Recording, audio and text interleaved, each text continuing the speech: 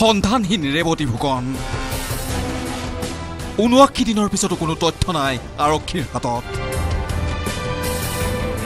এইজন আলফা চৰকাৰৰ আলোচনাৰ মধ্যস্থতাকাৰী ৰেৱতী ফুকন এতিয়া ক'ত? কাৰো হাতত নাই তথ্য।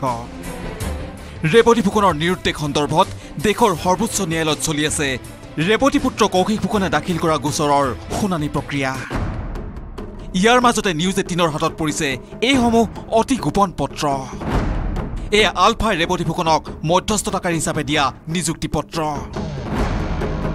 ঊনৈছশ একানব্বৈ চনৰ ঊনৈছ ছেপ্টেম্বৰত আলফাৰ হৈ উপ সভাপতি ইউ কে গগৈ স্বাক্ষৰ কৰা এই নিযুক্তি পত্ৰক কোৱা হৈছে ক্ষমতা প্ৰদান পত্ৰ।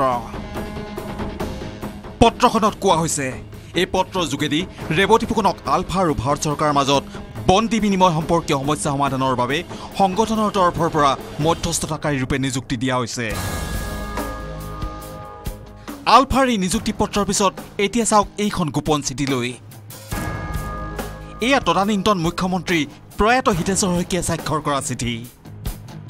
এই চিঠিখনতো আলফাৰ সৈতে আলোচনাৰ মধ্যস্থতাকাৰী ৰূপে ৰেৱতী ফুকনক নিয়োগ কৰাৰ কথা স্পষ্টকৈ উল্লেখ কৰা হৈছে। ঊনৈছশ একানব্বৈ চনৰ পৰা আলফাক আলোচনাৰ মেজলৈ আনিবলৈ চেষ্টা কৰি অহা এইজন ৰেৱতী ফুকনৰে সন্ধানহীন হোৱাৰ ঊনআশীটা দিন পাৰ হ'ল। শেহতীয়াকৈ পৰেশ বৰুৱা নেতৃত্বাধীন আলফা স্বাধীনক আলোচনাৰ মেজলৈ আনিবলৈ বিশেষ উদ্যোগ লৈছিল নিখোজ ৰেৱতী ফুকনে। এই ক্ষেত্ৰত পৰেশ বৰুৱা আৰু ভাৰত চৰকাৰৰ প্ৰতিনিধিৰে কথা পাতি আলোচনাৰ বিষয়সূচীও প্ৰস্তুত কৰিছিল ৰেৱতী ফুকনে। ইয়াৰ মাজতে ফুকনৰ নিখোজৰ ঘটনাই সকলো পক্ষকে ভবাই তুলিছে।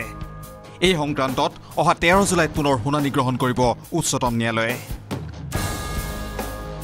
বিজু কুমাৰ ডেকাৰ বিশেষ প্ৰতিবেদন news eighteen Assam North East